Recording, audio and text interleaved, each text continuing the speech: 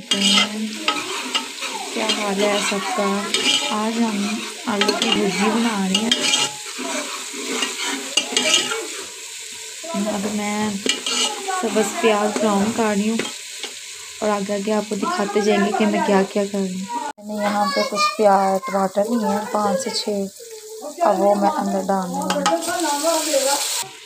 अब मैंने इसके अंदर मसाले ऐड किए हैं। जितने आप आप यूज़ करते हैं, उतने उतने आप मसाले डाल सकते हैं। अब इसके अंदर मैं ऐड करने लगी हूँ कटिंग हुए आलू।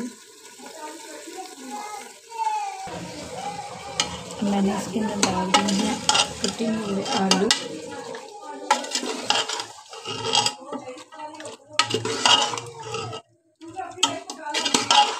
ये आप देख सकते हैं। इसका कलर कैसा है? इसके अंदर अब मैं डालूँगी थोड़ा सा पानी। थोड़ा सा पानी डाल के इसको हल्की सी आँच पे रख देंगे, फिर हम आपको दिखाएँगे।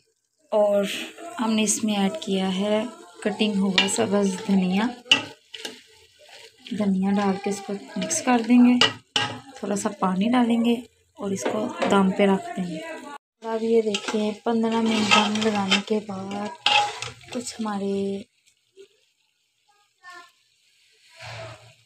आलू की भुजी आपको धुंधलापन नज़र आ रहा है। आलू की भुजी ये देखे।